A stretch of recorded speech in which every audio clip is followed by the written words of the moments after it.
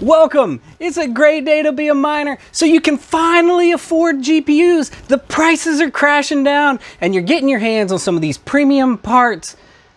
But should you mine? Is mining easy? We're gonna dive into all this, but first, let's spin that intro.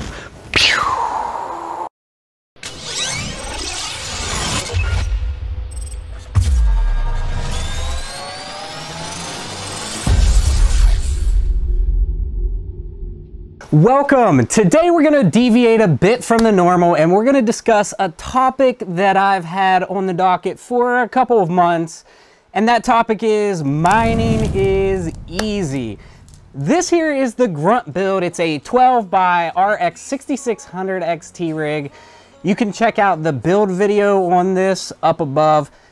This is here because this is offline for repair.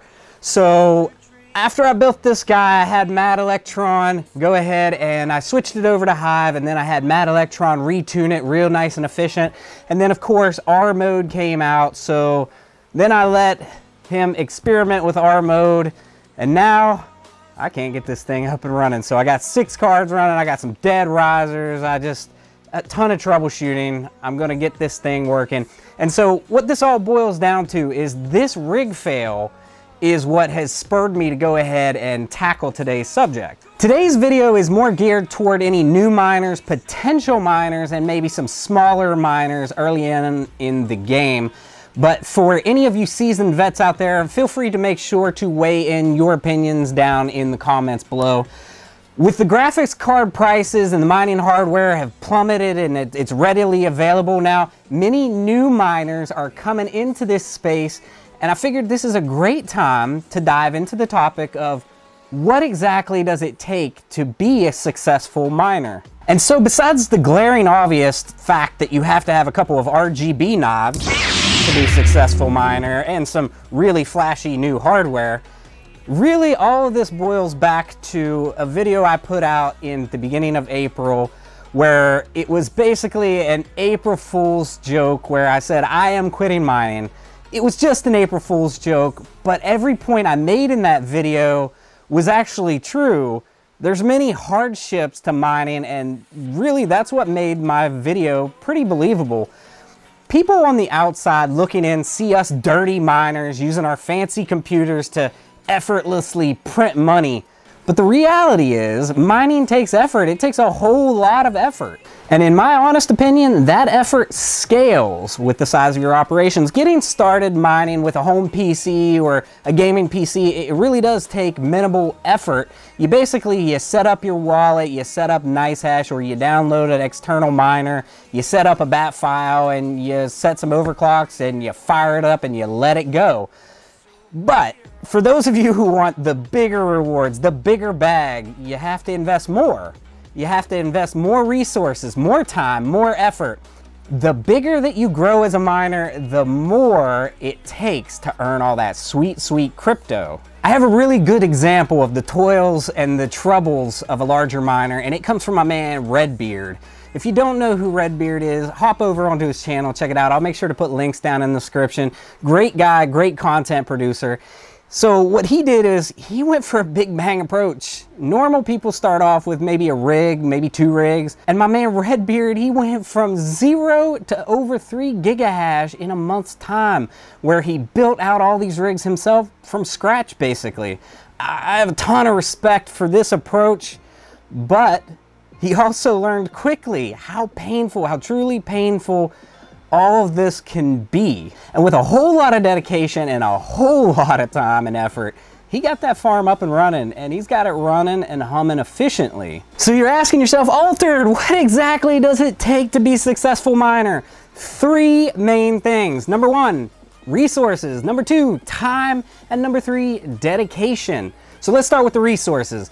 Resources, you have to invest in your hardware. You have to invest wisely. With profitability so low, Ethereum going to proof of stake soon, and of course rising electric costs, you really need to be certain of what you are investing in. Know what the market prices are, and don't overspend on your hardware. Never invest what you cannot afford to lose. That is the number one important thing from any financial aspect Never invest what you cannot afford to lose. Next, time. It takes time to build your mining rigs. It takes time to keep them up and running. It takes time to source the parts. It takes time for the maintenance, the troubleshooting, repairs. Personally, I check my miners at least a couple times a day to ensure that they are mining either at the pool or I can check from the Wi-Fi outlets to ensure that the power usage is proper. Downtime in the mining world, that's wasted crypto, baby. Parts fail, risers go bad, RMAs can be tedious and they happen, they happen often buying replacement parts. You need to do your research when you're buying new parts. Get to get a new feel of the current market and what you should pay for those replacement parts. Files get corrupted. Your operating system might need updated. The miner might need updated. There might be new command lines you need to add, new overclocks to put in. Cleaning and dusting. You got to keep these things clean. If you let the dust pile up on them, they're to get hotter. They're going to thermal throttle in some cases, and they're not going to have as long of a lifespan. So you got to blow them out. Blow them out once a month. Blow them out once every two months.